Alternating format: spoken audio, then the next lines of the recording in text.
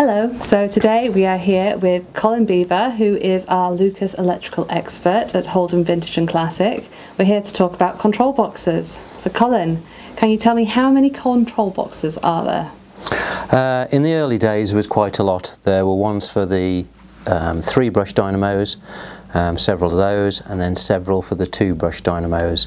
Um, now we're probably down to about half a dozen different types. Okay, and what does a control box do? A control box regulates and cuts out the voltage going from the dynamo to the battery, basically so as the battery doesn't overcharge. Okay, and what could happen if the battery overcharged? Um, it would just keep charging and charging and then pff, it could burst into flames, blow up really. Okay, you don't want it's, that It's then. rare, it's not, not going to happen very often, but yes. Yeah. Okay, so what's the difference between these control boxes we've got here in front of us? Well, what we've got here is um, the two at the back. These are um, basically motorcycle or agricultural tractors and things like that. Um, all these here are basically the same with different terminal layouts. Um, these are two bobbin control boxes, so they've got uh, a regulator and a cutout unit. And then the later version of those they made into a three bobbin one which has got a cutout, a voltage regulator but also it's got a current regulator. Okay, and do you have control boxes in modern cars? No, they finish the dynamo and control box setup in favour of the alternator which is everything all in one unit. Okay, can you fit an alternator in a vintage and classic car? You can do, uh, but it requires quite a lot of work. You've got to have new brackets, uh, the wiring's all different. Um, but what they have done now is come up with a, a good alternative. Something like this, um, well, it looks just like a dynamo, um, but actually inside it, there's a modern alternator. So you've got all the benefits of an alternator, but still keeping the original looks of a dynamo.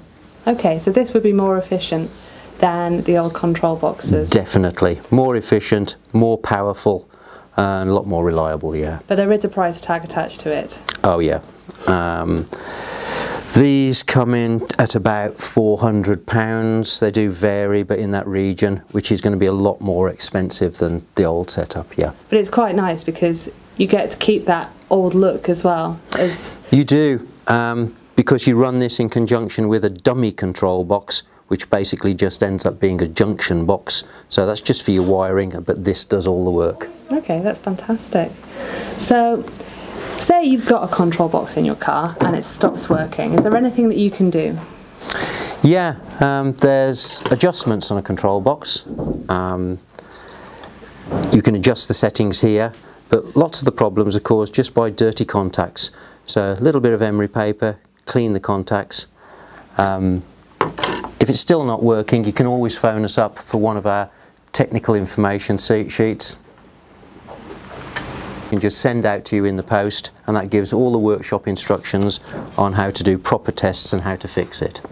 Okay, so we sell new control boxes, uh, the old vintage ones that will still work, and also refurbished control boxes. Can you tell us a little bit about sort of the part numbers and what we've got in stock? Yeah. Um, these two here, these two both the same unit. These are RB106s, probably the most popular control box ever made. Same thing, just different terminals. So you've got push-on terminals or you've got screw terminals. Apart from that, identical. These are what they call the RF95, which was the earlier style than that, with nine terminals. Um, this is a reproduction which we make in-house. Um, Yeah, we're the only people that manufacture the uh, RF95. we are, yeah. So if you've got a reproduction one, it's come from us. Um, that, well, that one there is an original old RF95.